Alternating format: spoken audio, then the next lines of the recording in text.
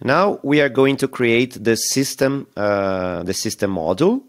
And uh, for this, I will create a new file here, system.rs. And then I'm going to copy and paste the code that is available for everybody in the lesson. So this is the code. I will, uh, I will copy and paste this code also here for you. And we have to do some things here, some some some imports and and do whatever we need to to make this pallet uh, like useful. Um, so basically, what this pallet has, uh, we we have a, a field called block number uh, that we will store all the uh, that will store the block number of the blockchain. So imagine that a blockchain is a, a, chain of blocks, and then we have block one, block two, block three, block, block four, and so on. And we have to store the state of what is the the last block that was created. So for this, the same way we created here in the balances pallet, we created uh, this struct.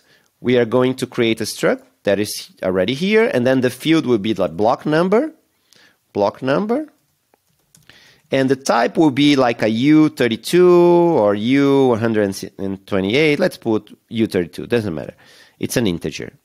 And then also, so this is the way we create the block number. Uh, yeah, it's U32. Okay.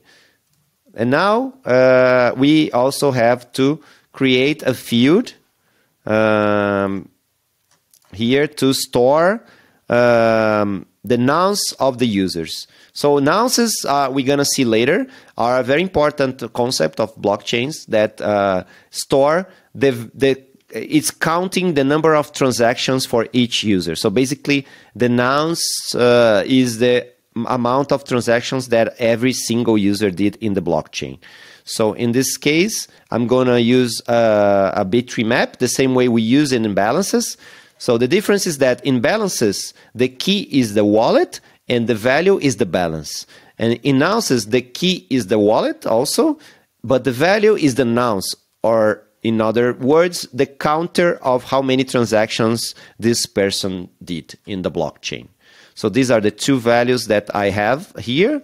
And then I'm going to create the implementation of the new, uh, the same way we did here, the function that returns something like this. Let me copy here and then we, we will update with the correct. I will initialize with a zero as the first, like the, the block number, the default block number is, it will be zero when the blockchain is created.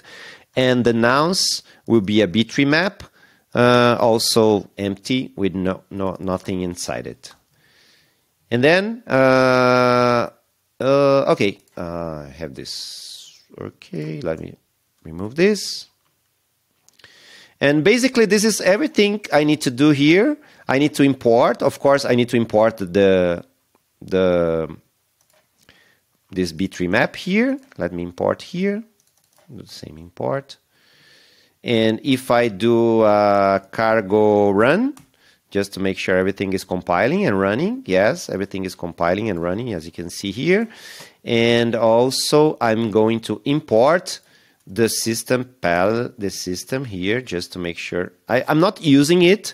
Let me remove this from here and let me just like create the system. Just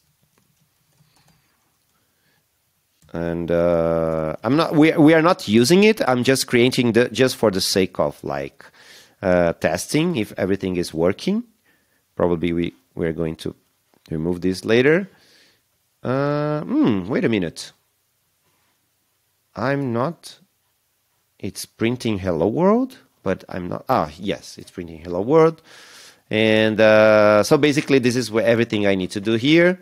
And this is when I finished uh, the, the creation of the system pallet. So basically, this system pallet will have these two fields. They are not being read um, now. They are just uh, created and initialized, but yet nothing is being do. Uh, I'm not, I'm not doing anything with this. Uh, we're going to do this uh, in the next lessons.